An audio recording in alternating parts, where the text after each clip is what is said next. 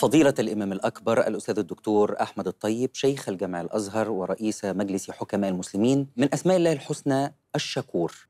ورد في القرآن أربع مرات ورد أيضا بصيغة أخرى وهي شاكر كما في قوله تعالى في سورة البقرة فإن الله شاكر عليم ما الفرق بين الكلمتين؟ بسم الله الرحمن الرحيم. الحمد لله والصلاة والسلام على سيدنا رسول الله وعلى. آله وصحبه. وبعد. فأعتقد آه، أنه سبق لنا أن قلنا إن صيغة فاعل هي صيغة اسم الفاعل آه، ومعنى اسم فاعل يعني فيها مثلا كلمة شاكر أو كلمة آه، غافر. صابر غافر. آه، اسم فاعل بمعنى أن فيها اسم وفيها فعل وهذه الصيغة تقول أن هذا الاسم فعل هذا الفعل. آه. ذات. آه، ذات وفعل. ذات وفعل. آه، يعني آه، ذات فعلت هذا الفعل. ده كل ما تفصح عنه صيغة فاعل وتسمى باسم الفاعل. يعني لا تقدر تقول عليها اسم لوحدها لأن إحنا عندنا اسم وفعل وحرف. آه. لكن في حاجة اسمها اسم فاعل واسم مفعول. اسم الفاعل ده هو يعني ذات فعلت الفعل. آه ف لكن الاثنين في صيغة واحدة. وده غير الفاعل اللي, معلش عايز أخلي الحصة على نحو. بالعكس ما فهم اللغة العربية مهم آه فهم مهم المعاني. جدا نعم. طبعا. ودي حاجات بسيطة ممكن تفهم يعني مش معقدة. الهدف هو فهم معاني الوعي. هذا وعيه. لأن هذا الكتاب هو الذي يعني دفع المسلمين دفعا إلى وشجعهم إلى أن ينيروا الغرب في أيام يعني في عهد الظلمات وينيروا الشرق أيضا وفي 80 سنة. 80 سنة كان المسلمون في الأندلس وفي الصين وكان أهل الأندلس يستقبلون المسلمين. استقبال الفاتح لأن وجدوا فيهم كما نقول ضوء نجاة. في كل الأمور. فبعثوا هناك الحضارة وبعثوا كذا وكذا وكذا. والآن إحنا ننظر القرآن للأسف الشديد حتى آه، أبنائنا حتى الناس اللي هم يعني النخب وكذا وكذا. لا ينظرون إلى القرآن النظرة التي يستحقها القرآن ويجب على المسلمين أن ينظروا إليه. آه، هو منهج حياة.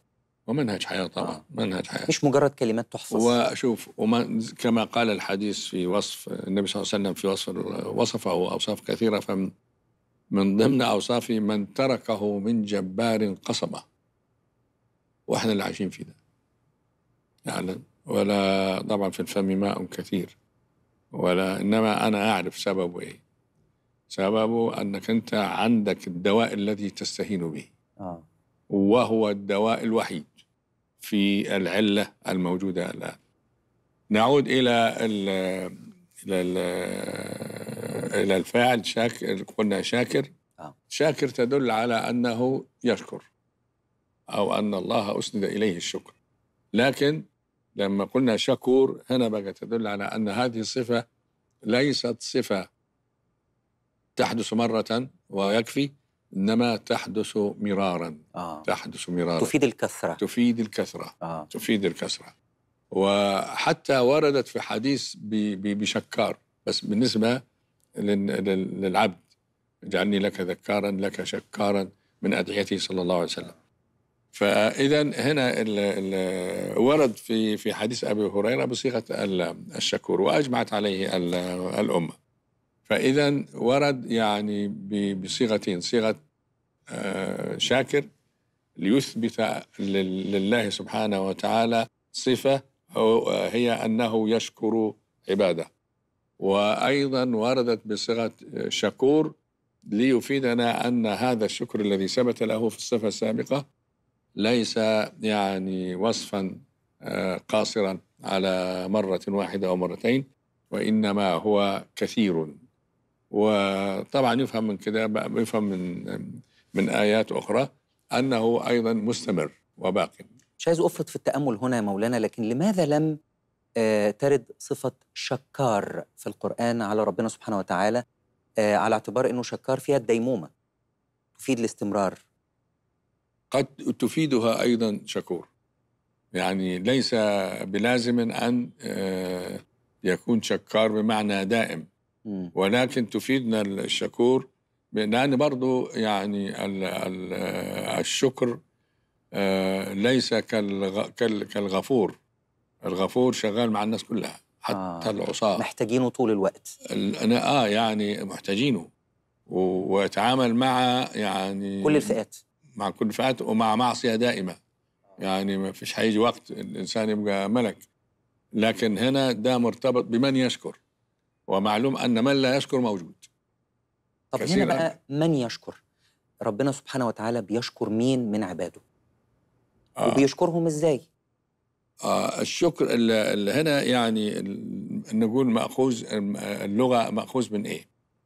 الشكور مأخوذ من يعني في اللغة يرجع إلى آه يعني حينما تذكر آه صفات آه الممدوح واحد مثلا تذكر صفاته انه هو مثلا آه إنسان مهذب مؤدب عالم كذا كذا كذا.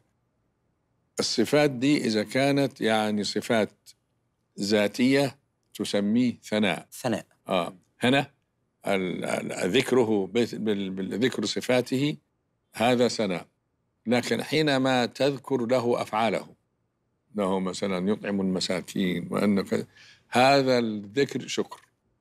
فالشكر نستطيع أن نقول أنه يعني ذكر الصفات الجميلة أو الصفات الحسنة في في المذكور. آه نثني آه. عليه. نثني عليه. لا الثناء هو بقى ذكر الصفات الذاتية فيه. آه.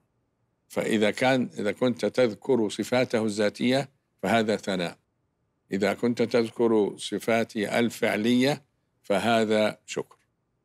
ف وإذا آه يعني آه الشكر إذا شكر الله عباده هكذا فهو من صفات الذات. أما إذا شكر شكرهم باعتبار أفعالهم وما يقومون به من خير وتراحم وإلى آخر الصفات الحميدة فهذا شكر من الله سبحانه وتعالى. لل- لعباده كما نقول في مناسبات العزاء شكر الله سعيكم. بالضبط. نعم شكر الله سعيكم. يعني شكر هنا هنا شكر نعم. الله فعلكم. فعلكم خطوات سعي خطوات. آه. نعم.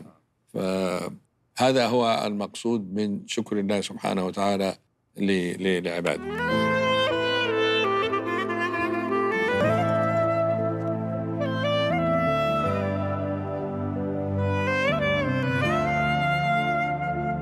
كما ذكرنا يا مولانا اسم الله الشكور ورد في القرآن الكريم أربع مرات. في ثلاث منها اقترن باسم الغفور. في الرابعة آه، اقترن آه، بالحليم كما في سورة التغابن والله شكور حليم. ما الحكمة في اقتران اسم الله الشكور بهذين الاسمين الغفور والحليم؟ وحضرتك يعني آه، هناك علم متخصص في تذييل تذييل الآية. آه. يعني م، الآية ختامها. ختامها آه. بس ختامها بما يبرر الأحكام التي صدرت في حتى صدرها يسمونها في صدر الآية وعجز الآية فهناك علوم آه، يعني آه، تتحدث عن هذه الآية تتضمن كذا وكذا ثم زيلت بوصف كذا وكذا بما يعزز المعنى آه بما يع... يعني لازم اكتشاف المناسبة مم. بين التذييل وبين ما ذيلت له وهو ما سبقها. ما, سبقها. فواضح طبعا شكور حليم أن الشكور يقتضي الحلم. يعني لا يعني لا يكون شكورا إلا إذا كان حليما. حليما.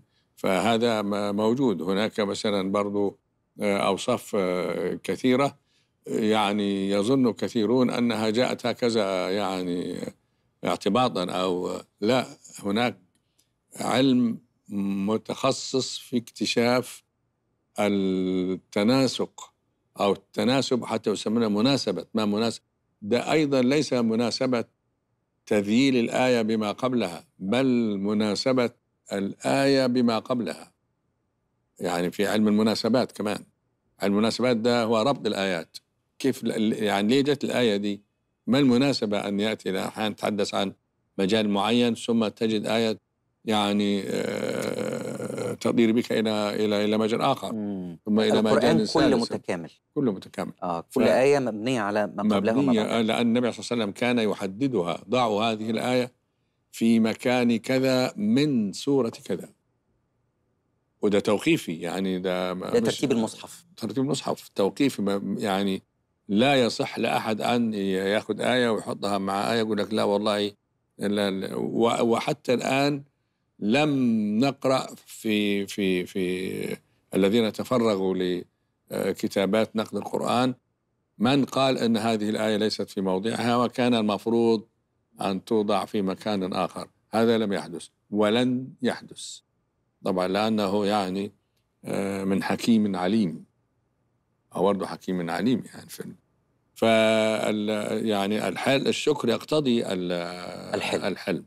واضح أنه يعني الذي يشكر ده يعني آه، مش ممكن يكون شكور وفي نفس الوقت غضوب أو نفس الوقت يعني آه، كيف يشكر وهو غضبان. قليل الحلم. قليل الحلم. آه مستحيل. مستحيل ربنا سبحانه وتعالى أيضا آه، أطلق صفة الشكور على بعض العباد. نعم. ففي سورة سبأ قال وقليل من عبادي الشكور.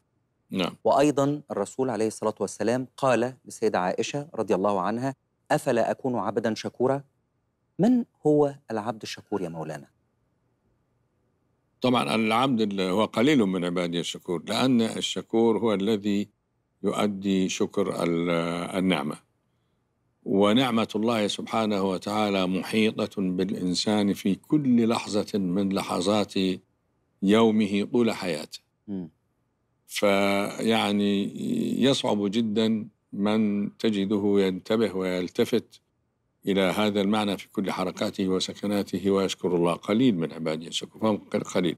لأن الإنسان الإنسان كما قلنا مثلا أنه يأكل ويشرب وينام ويهيأ له أن وجبات الأكل دي يعني آه، من حقه أو شيئا فشيئا. العادة تبطل عنده آه، ملكة التيقظ لمن وضع أمامه هذا أو مهد له هذا الطعام أو يعتبر النعمة تحصيل حاصل. طبعا كأنه أو من ألبسه ومن إنما ولذلك النبي صلى الله عليه وسلم كان يتبع كل تصرف من هذه التصرفات بالشكر لله والدعاء لله والحمد والثناء على الله سبحانه طوال وتعالى الوقت. طبعا لأنه طبعا يعني كان إذا مثلا لبس يقول الله الحمد لله الذي رزقنيه من غير حول مني ولا قوة. اللهم ألبسني من ثياب الجنة. ثم كان ده الشكر اللفظي. ثم يعمد إلى ثوبه الخلق القديم فيتصدق به. نظامه كده. فده الشكر العملي. قليل اللي هو طبعا آه، على هذا النمط. في هذا الآية. لكن الناس يشكرون طبعا حين آه، تأتيهم نعمة كبيرة تلفت أنظارهم. أو حينما مثلا يقعون في ضائقة ثم تفرج عنهم هذه الضائقة. فإذا ليس ال- ال- العبد شكور بال- بالمعنى ال- آه يعني هو قليل من عباد وده وده ده واضح ومعروف يعني. حتى معظم المؤمنين كلهم يعني تقريبا ما عدا يعني الناس اللي هم متيقظين لل- للحضور الإلهي معهم. في كل آه، حركاتهم وسكناتهم. فضيلة الإمام الأكبر الأستاذ الدكتور أحمد الطيب شيخ الأزهر الشريف ورئيس مجلس حكماء المسلمين سنواصل الحديث عن اسم الله الشكور في الحلقة المقبلة بإذن الله. وأحبائنا الكرام إلى أن نلتقي مجددا مع الإمام الطيب. سلام الله عليكم ورحمته وبركاته.